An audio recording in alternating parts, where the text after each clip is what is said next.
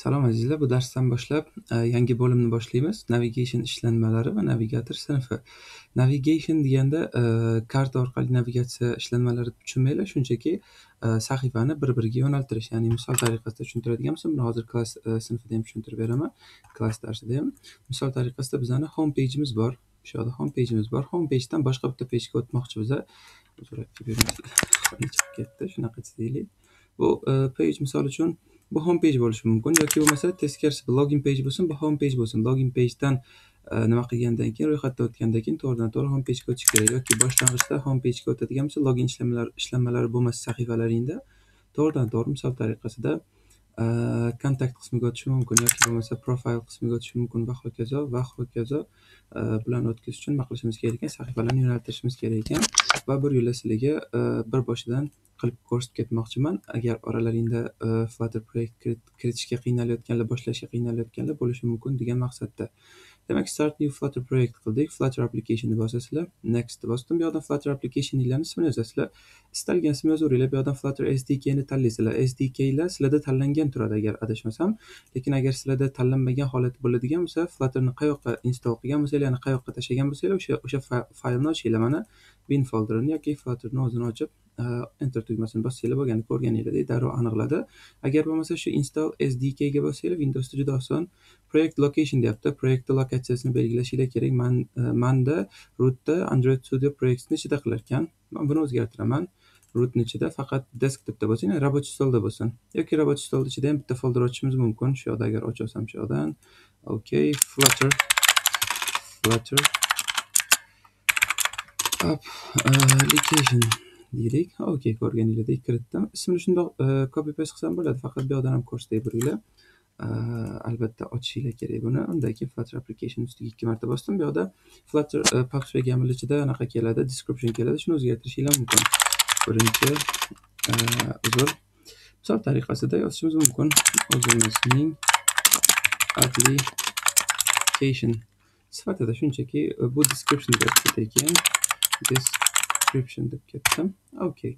Next bosasizlar. Undan keyin bu packaginglarni ismi hozircha o'zgartirishinglar shart emas. E, build sahifasiga build bo'limiga kelganinglardan keyin buni ko'rasizlar. Shundoq ham finish tugmasiga bosdim. Flutter proyekti menga kiritib beryapti. Sizlar xohlasanglar agar bunda qiynalayotgan bo'lsanglar terminal orqali shunchaki flutter create app deb kiritib ketsanglar bo'ladi. O'sha usul man uchun oson lekin agar qiynalayotgan bo'lsa shunchaki interfeys orqali ham ko'rsatib ketdim. Buni kiritgandan keyin bizga flutterni fayllari kelardi esinglarda bo'lsa shunaqa qilib qo'yaylik. Kattaroq qilib bu yoqda emulatorni ochib qo'yamiz emulatorimiz shu yoqdan kiramiz. Ok undan keyin man emulatorim install qilingan holatda turibdi. Play tugmasiga bosasizlar. Bunga e'tibor qilmanglar sizlarga chiqmaydi ko'rganinglar emulator ishga tushdi. Ok buni ham yonga olib qo'yamiz. Ho'p bundan keyin nimalar qilishimiz kerak? Agar sizlar buni keshini clear qilmoqchi bo'lsanglar shu tugmaga bosib vibega bosasizlar yana bir marta takrorlab ketgan bo'ldim. Demak bu yoqdan xohlasanglar shu inspektor doimiy tarzda ochiq tursin. Sizlarni nimalaringni kirib ketayotgan klassinglarni ichidan klassga kirib ketsanglar bu yoqda juda chiroyli tarzda ko'rsatib boradi. Lekin man uchun shart emas. Agar xohlasanglar sizlar ochib qo'yishinglar mumkin albatta. Buni ozgina kichraytirib flutter applicationni ochamiz. Buni ichida bilasizlar lib fayl bor edi va main dartni ichida biz kodlarimizni yozardik. U shundoq ham main dart ochilgan. Faqat buni ichida yana bitta yangi folder ochaman. Bu folderimizni ismi bo'ladi ui bo'ladi. Xohlasanglar o'tgan darsimizgidek package kiritdim ui bo'lsin. Ismini xohlaganinglardek berishinglar mumkin. Именно birorta ism berishinglar shart emas. Undan keyin bilasizlar bu yoqda materiallarni chaqirishgan edi sal kattaroq qilish uchun man e, tizimimni yangilaganim uchun boshqatdan ko'rsataman. E, settingsga kirishimiz kerak. Okey undan keyin editor qismi bor. Uzr boshqasiga bosilib ketdi. Mana editor generalga bosganinglardan keyin shunga bossanglar bo'lgan.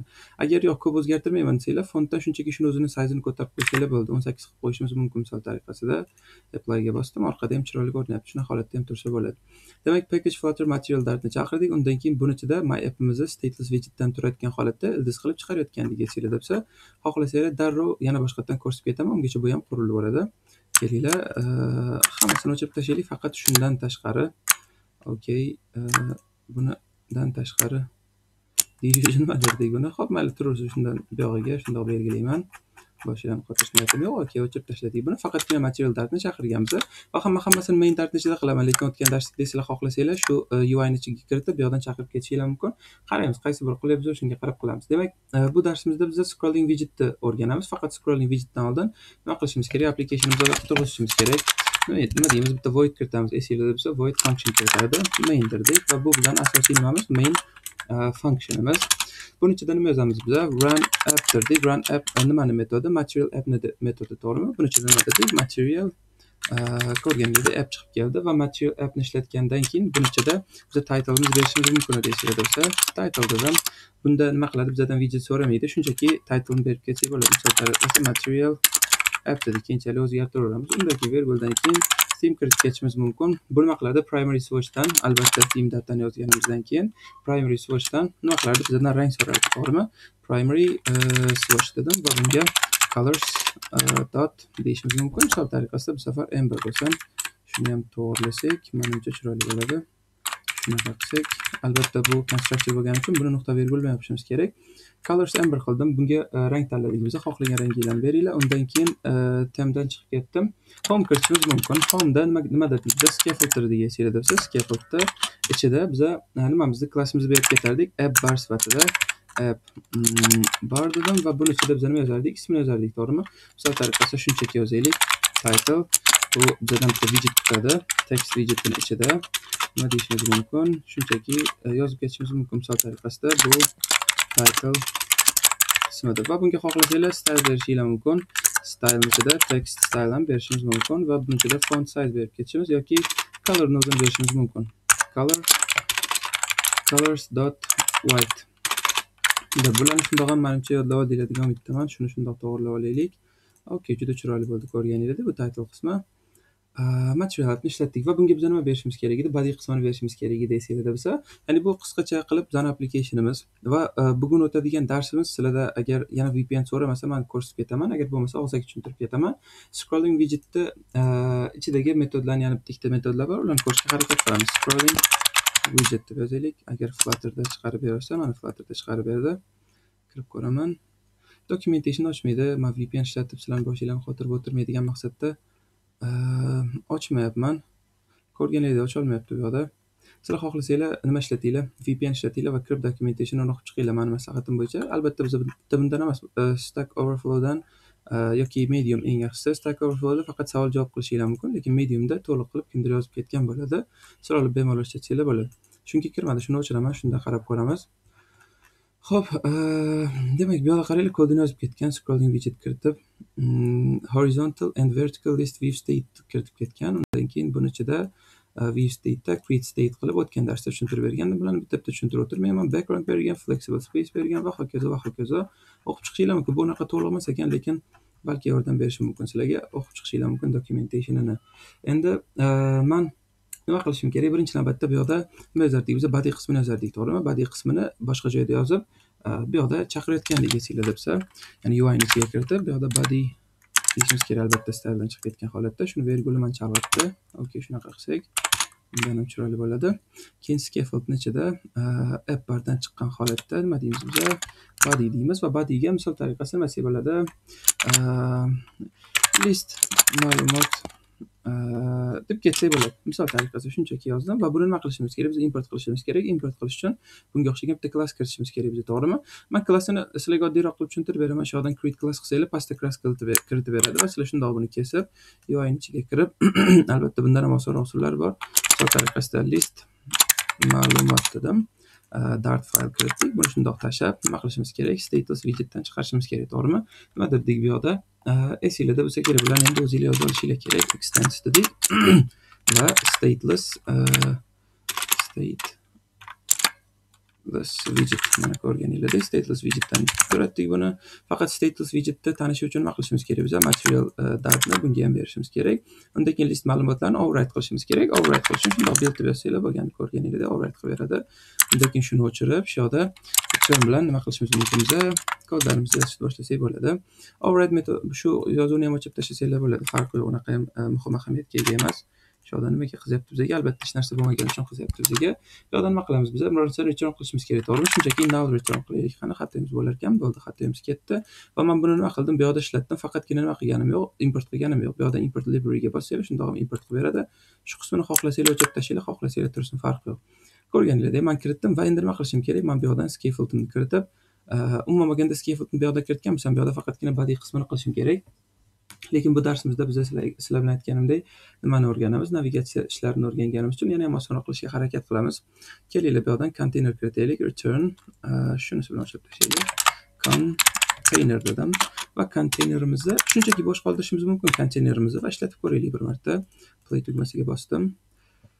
Okay bu mandan main dartni ishlatasanmi deb so'rayapti bu yoqda e, intry point doesn't contain a main function deyapti bu main function anaqasi yo'q deyapti okay bunga qaytaylik buni ishlatib ko'raylik main dartni ishlatasanmi deyapti okay bu yoqda bitta xato olyapmiz lekin e'tibor qilmaydi ranga bosaylik qani okay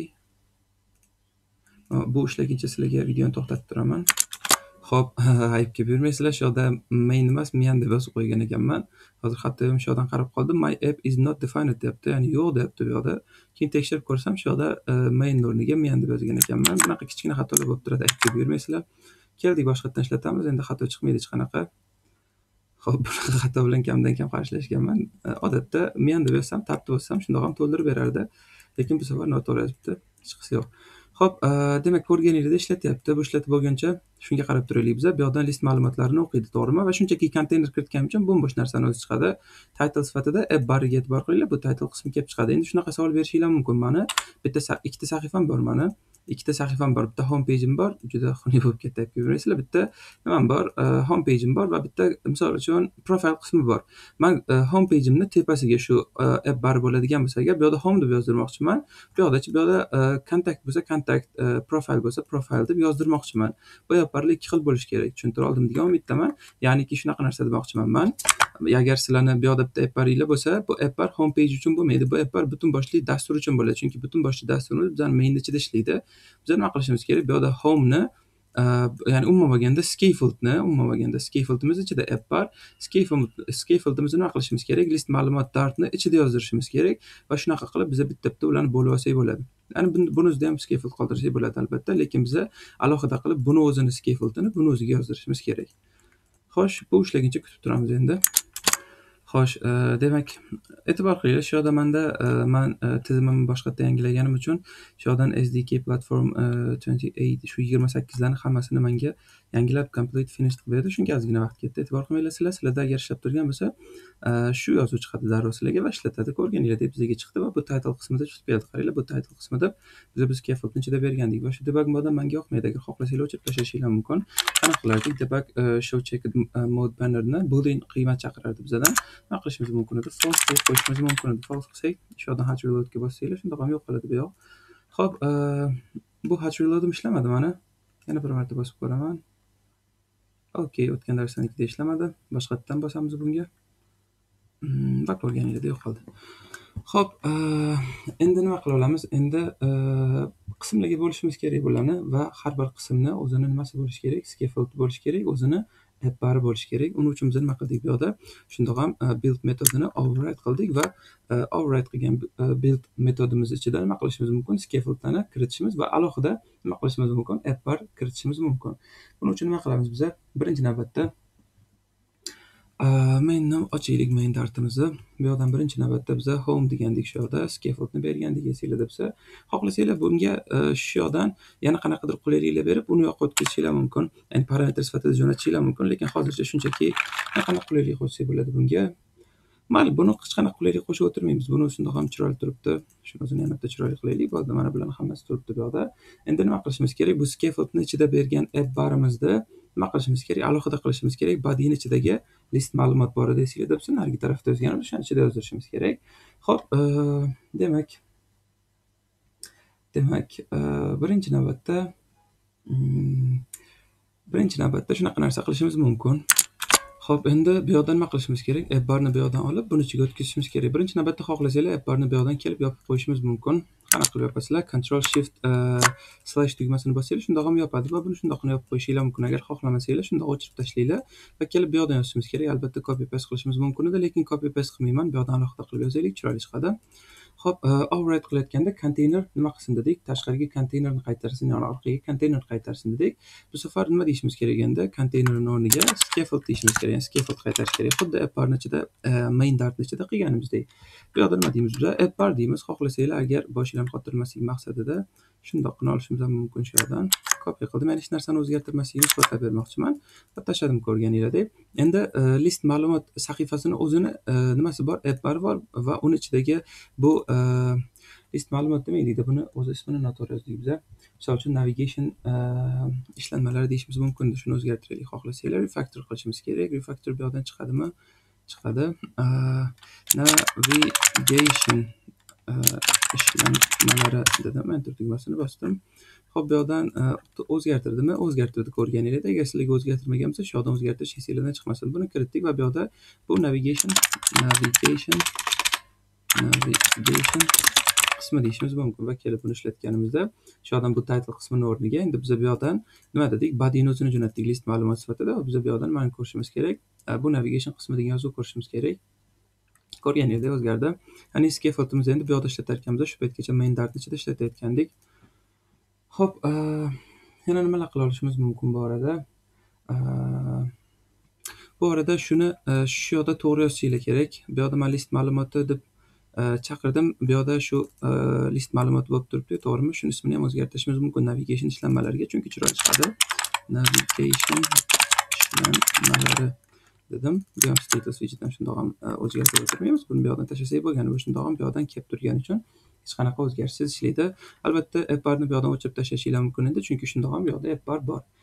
Ho'p e, va bu yoqda nima deyishimiz kerak biza body demasligimiz kerak chunki body qisminigina bizga chiqarib beradi. Bu yoqda biza bosh sahifamizda nima deyishimiz kerak? E, navigation ishlanmalari deyishimiz kerak ya'ni shu yoqdan kesib scaffoldni o'chirib tashlab chunki u yoqda scaffold bor shundoq ham mana shuni o'rniga shuni tashlasam ham bo'lgan qaranglar qanaqa chiroyli holatga o'tkazdik boshqatdan ishlataman hech narsa o'zgarmaydi shundoqami ko'rgan ko'rganingizdek hech narsa o'zgarmadi ya'ni xato bermasligini ko'rsatmoqchi bo'ldim sizlarga okey bu yoqda e, manimcha navigation ishlanmalari yozdik. Hammasi joyida. Yana nimalar qila olishimiz mumkin? E, xohlasak narigi tarafda badin ichida kolumnlarni yozib bodyni bu yoqdan ishlatishimiz mumkin. Shu nechida ishlaydi baribir hammasi. Bu yoqda nima qilamiz biza? Shu appardan chiqqandan keyin nima deyishimiz mumkin? Badiy deyishimiz mumkin ya'ni e, badiy qismi uchun. Body qismini ichiga man nima deb ketishim mumkin. Kolumn kiritishimiz mumkin. Xohlasanglar row kiritishinglar mumkin. Man kolumn deb ketdim. Ya'ni yozuvlar chiqarmoqchiman buning ichiga. Nima deymiz bunga children olardi va widgetlarni ichida man xohlagancha widget berishim mumkin desanglar bo'lsa man kelib shu yerdan reset button kiritmoqchiman. Ya'ni boshqa sahifaga o'tkazishimiz uchun shu pastdagi e, main e, qismidan oldin oddiy e, menyu sifatida oddiy nimalardan batonlardan foydalanamiz. Keling bu yoqda yozdiraylik. Child dedim child sifatida nima so'raydi mandan tekst e, so'raydi va tekstni berishim mumkin buni ichida albatta widget e, so'ragani uchun man tekstni widget sifatida kiritib ketdim bir turli olmadim shuni okey bu yoqda e, boshqa sahifaga o'tkazish yoki bo'lmasa a sahifasiga o'tkazish deyishimiz mumkin misol tariqasida documentationda a abc deb tushuntirgan ekan man ham sizlarga a deb tushuntiryapman hozir buni virgulni yozgandan keyin buni ichida nima yozishimiz mumkin color berishimiz mumkin bunga colors dot uh, amber bo'lmasin mayli boshlang'ichiga amber bo'lsin yoki amber accent bo'lsin farqi yo'q hozircha. Undan keyin on preset bo'lganda shu narsani qoldirib ketaman. Uh, shunchaki sizlar buni ichida uh, rangini ko'ra olishinglar uchun reset buttonni rangini ko'ra olishinglar uchun shu ishlamayaptimi hali ham ishladi ko'rganingizdek sahifasiga o'tkazadigan yozuv chiqarib berdi. Faqat nima qilishimiz mumkin buni? Sentrga olishimiz mumkin to'g'rimi? Umuman olganda kolumni sentrga olishimiz mumkin. Kolumni shundoq kesasizlar. Okey shu qismigacha. Buni kesgandan keyin center deyishimiz mumkin. Va buni ichida tashladim. Faqat child sifatida tashlashimiz kerak biza. Okey tashladim. Hamma joyda ko'rganingizdek shu yoqdan vergul qoldirdik. Shuni ham vergulini qoldirdik. Hamma joyda hozircha e, va bunga nima bu hozir shundoq ham shu sentrga keladi. Agar e'tibor qilsangiz shu sentrga keladi. Man buni o'rtaga olish uchun nima qilishim kerak? Bu yoqda main access alignment bor. Main e, access alignment nega chiqarmayapti main access alignment, da albatta bizni kolumna ichida o'smishga chaldib ketmaydi. Ko'ringizlar, main access alignmentda bunga main axis alignmentdan kelayotgan center qulayligini berishimiz mumkin. O'rtaga olib kelmoqchiman okey o'rtaga keldi ko'rganingizdek va endi bu tugmaga bosganimda nimadir bajarilsa misol tariqasida printer nimadir yozdirishinglar mumkin man shunchaki ko'rsatdim sizlarga bu yoqda shu battonga bosilganda bizga a sahifasiga o'tkazadi. Faqat a sahifasiga o'tkazayotganda sizlar xohlasanglar uini ichiga kiritishinglar mumkin. Lekin bu darsda unaqa boshlashga qotirmayman navigation mavzusida. Shunchaki man pastdan klass kiritib ketaman. Bu yoqda on press bo'lganda birorta e, qismga o'tkazish uchun tushundinglarmi bu yoqdan klass yozamiz klassimiz ismi a sahifasi bo'lsin misol tariqasida va bu nima qiladi extend bo'ladi. Nimadan extend bo'ladi? Stateless widgetdan albatta. Yozib olsak stateless widgetdan. Va kichkina ko'rinmayapti degan umiddaman mayli ozgina katta qildim. Buni nima qilishimiz kerak? Build metodini ishlatishimiz kerak override qilishimiz kerak. Okey bosdim. Shu ikkita qismini nima bilan o'zgartirishimiz mumkin? Shunaqasiga kesib return qilishimiz mumkin to'g'rimi? Return qildim. Nimani return qilishimni o'zim belgilayman misol tariqasida scaffold return qilaman man va scaffoldni ichida nima bo'lishi mumkin? Manga app bar bo'lishi mumkin to'g'rimi? App bar bo'ladi. Xuddi shu tepanikini o'zi ya'ni shu narsalarni o'zi bo'ladi. Shu tepada app barlar belgilagandik esinglarda bo'lsa shu app bardan olishni xohlasanglar shungacha kopi qilib bunga ham tashlay. Erindim yozishga hech narsa qilmaydi. Sizlar yozib chiqinglar qo'linglar o'rgatish maqsadida. Mana shundoq ham o'rgangani uchun boshqa yerdan yozib o'tirmayman shu yerda nuqta belgilashimiz kerak chunki bu constructor okey bu yoqda apparni kiritdik. Bizdan tekst so'raganda tekstni ham berdik. Faqat shu yerda bu navigation qismi emas bu a sahifasi deyishimiz o'zi yetadi bu a sahifasi dedim text style ham color white bo'laversin app barni rangini o'zgartirmoqchiman. Umuman olganda app barni rangini o'zgartirish keyingi bo'limlarimizda ko'ramiz. Hozircha rangi shu yoqda berilgan. Tushundinglarmi theme data qismida berilgan. Ya'ni boshqa sahifaga o'tkazganda qizil bo'lsin yashil bo'lsin ko'k bo'lsin deyishimiz mumkin albatta. Ho'p color white berdim. Bunda ham xuddi shunaqa yozuv chiqadi. Bunga bosganimda va e, tekst qismida shunaqa narsa chiqadi. Faqat man bunga o'rtada yana nimadir ko'rinsin deyish uchun nima berishim mumkin? Xohlasanglar shu tugagandan keyin body berishimiz mumkin. Faqat scaffold ichida bo'lsin. Body mandan nima talab qiladi? Xohlasanglar join bildirishimiz mumkin. Centerda bo'lishi uchun shunaqa narsa yozishimiz mumkin va buni ichida child kiritishimiz kerak. Child kiritaman va childni ichida column bo'lishi mumkin. Bularga manimcha sekin sekin qo'linglar kelishdi o'zi yozayotgan bo'lsanglar shundoq ham qo'linglar kelishib qolgan. Main access alignmentda albatta bu yoqda kichkinada main e, bu yoqda nima uchun? Kattada albatta. Uzr chalib ketdim. Main access alignment keldi mana. Bu nima deyishimiz mumkin. Buni ham center deyishimiz mumkin biza. Va undan keyin e, bunga ham children berishimiz mumkin. Qaranglar bu ham bizdan widget kutadi va widget sifatida man tekst yozishim mumkin. Tekstni ichida misol uchun a sahifasi deyishimiz mumkin sahifasi deyishimiz mumkin. Bu a sahifasi appbar desam chalg'itmasligim uchun e, bu yoqda chunki appbar qismi chiqadi bu yoqda o'rtada sahifaga yozuv chiqadi. Va nimalar kiritishim mumkin bu yoqda? Tekst stylelarni kiritishim mumkin. Birinchi navbatda style yozamiz undan keyin text style yoza olsak text style yozishimiz mumkin buni ichida font size berishimiz mumkin font size misol tariqasida sahifani o'rtasida chiroyli ko'rinishi uchun yigirma olti berib ketdim xohlasanglar color berishinglar mumkin misol tariqasida color ham beraylik buni e, ajrata olish uchun color dedim. Va colors dot red bo'lsin agar to'g'ri yozib qolsak colors dot red bo'lsin faqat accent qismi bo'lsin chiroyli ko'rinadi menimcha. Shu yoqdan ham vergulimizni qoldirib shuni bitta bossak manimcha kodimiz chiroyli bo'ladi. Ko'rgan manimcha chalg'itmayman degan umiddaman chunki bu kodlarni chiroyli qilib ko'rsatish maqsadida shunga bosyapman. Agar chalg'iyotganlar bo'lsa e'tibor qilmanglar shunchaki o'zinglar yozishga harakat qilinglar. Shunaqa holatda qo'linglar o'rganadi turinglar. Body qismiga center dedim yozuv o'rtadan kelishi uchun. Albatta bunga bosganimdan keyin bo'lishi kerak bu narsalar tushundinglarmi hozir shundoq ham e, bu yoqda a sahifasi deb ishlatishim mumkin. Qayerda ishlataman? Bu yoqdan kelaman. Mana bu e, navigation ishlanmalarini o'rniga man nima deyman? A sahifasi deyman. A sahifasi kelib chiqadi lekin man uni xohlamayman. Shunga bosganimda boshqa sahifaga o'tishini xohlayman. Uning uchun nima deyishimiz kerak? Bu tugadimi? Buni shu yoqda tugatsak bo'ladi. Tekstlarni kiritdik va hokazo ranglarni ham kiritdik shuni ham chiroyli qilib shunaqa qilib yozsak undan ham chiroyli bo'ladi manimcha. Ho'p e, endi nima deyishimiz mumkin? Endi shunchaki biz nima qilishimiz kerak? Buni yo'naltirishimiz kerak root komandasi bilan. Shu on bo'layotganda e'tibor qilinglar. Man navigator sinfidan foydalanaman. Navigator deb yozishinglar kerak ko'rganinglardek buni e, har xil metodlar bor. Qaranglar can pop default generation e, initial roots bor pop bor. Yoki push bor push and remove uh, e, until bor yoki push named bor va hokazo bir dunyo bor push replacement ham bor bu bo'limimizda ko'ramiz xudo xohlasa. Hammasini xohlagan joyimizda ishlatishimiz mumkin sekin sekin bo'limlar davomida ko'rib ketamiz. Faqat hozircha eng oddiy metod bo'lgan pushni ko'rsatib ketaman. Va push ichida birinchi parametr sifatida kontekst kiritishimiz kerak. Kontekst buni o'tgan darslarda tushuntirgandim nimaligini. Ikkinchi sifatida man shunchaki root kiritib ketishim mumkin. Agar shuni ustiga olib kelib tursanglar shundoq ham dokumentationni ko'rsatadi. Qaranglar man sandan feature t e, kutyapman undan keyin push tni kiritganingdan keyin deyapti mana qaranglar build context kontekst kiritdim. Xohlasanglar build kontekstni boshidan yozdirishinglar mumkin farqi yo'q uni. Undan keyin root kiritishing kerak manga deyapti tushundinglarmi rootni ichiga kiritishim uchun yozib ko'raman qaranglar root deb ko'raman. Chiqib kelar ekanmi root chiqib keldi. Faqat rootni ichida to'g'ridan to'g'ri ishlata olmayman man buni. Misol tariqasida rootni ichida shuni ismini berib ko'rishga harakat qilaman. Okey deb berdim ko'rganingda xato beradi. Chunki man bu mandan bitta widget so'raydi va man bunga widget kiritishim kerak. Widgetimiz ham material page root bo'ladi. Materialdan keladi. Material page root ko'rganinglardek va buni ichida nima keladi? Birinchi parametr sifatida builder keladi. Builderni ichida man nima qilishim kerak? Bitta lambda expression yozishim kerak. Kontekst deyishimiz mumkin. Shu yoqdan kelayotgan kontekstni bu yoqda callback sifatida kiritdik va undan keyin bitta qisqagina lambda expression bilan nima kiritishimiz mumkin? Function bilan a sahifasi deyishimiz mumkin. Faqat constructorni ishlatgan holatda kiritinglar vergul vergul dedim. Qolgan joyida shuni shuni bitta bossam tushuna olasizlar yana chiroyliroq bo'lib. Okey bosdim. Faqat shundagi vergul qoldirmaganimiz uchun bizga qizda yo bu yoqda nuqta virgul bo'ladi. Bu yoqda chi virgul bo'ladi.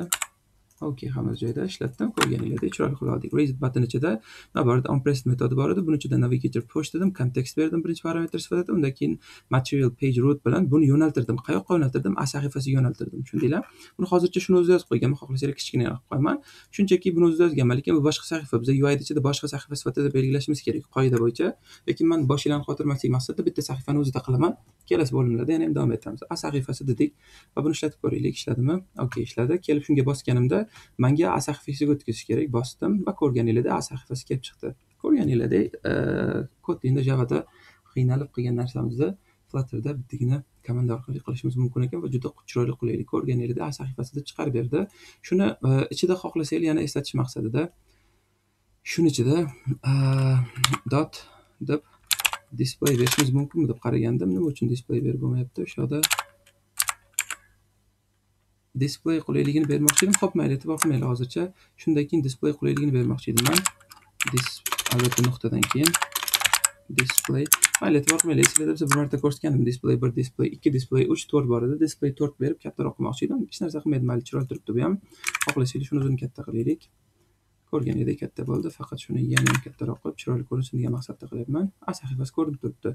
Bu a sahifasi app bar deganda esinglarda bo'lsa shuni ham ozgina katta qilib olsam endi nima qilishim kerak? Shu tugmaga bosganda qaytadimi qaytmadim tekshirishim kerak. Keldim bosdim ko'rganingdek qaytdi va chiroyli bo'lib ishlab turibdi. O'zim umuman bularga nimaga ehtiyoj sezamiz? Bitta sahifalik e, applicationlar yuzerlarni ya'ni foydalanuvchilarni ichini qizdirib qo'yadi. Shuning uchun biza bir qancha sahifali application qilishga harakat qilishimiz kerak. Ko'rganinglardek a sahifasi hozir chiroyli ishlab turibdi. Bu bilan ham tekshirib ko'raman. Oxiriga qaytdim ko'rganinglardek hamma joyda turibdi yana bir marta qaytsam applicationdan chiqib ketadi. Ho'p yana nimalar qila olishimiz mumkin? Bu orada manimcha birinchi darsimizga yetadi. Shu shunchaki shu sahifani e, ochishga harakat qilinglar sizlar ham va bu e, kodlarni tushunishga harakat qilinglar. Bu yoqda shunchaki bitta klass yozdim. Hech narsa yangi ishlatganim yo'q. Faqatgina on preset ichida bitta yangi narsa ishlatdim. Qolgan hammasini takrorlash deb hisoblanglar va buni shuni ishlatish uchun chiqardim. Bo'ldi. Boshqa hech narsa qilganim yo'q. Yangi narsa main dartni ichida biz scaffold belgilamadik. Scaffoldni klasslarimiz ichida belgiladik. Qaranglar bunda ham scaffold bor app bar bor bunda ham scaffold bor. Bir daqiqa tepada scaffold bor app bar bor qaranglar bunda navigation qismi desa man bosganimdan keyin bu a sahifasi app bar deyapti man qaytishim mumkin yana bosishim mumkin va hokazo ko'rganinglardek manimcha chiroyli applicationlarni chiqarishni sekin sekin boshlasak bo'ladi faqat hali ham bilimimiz kam bo'lgani uchun sekin sekin davom etamiz ho'p kelasi darsda uchrashguncha xayr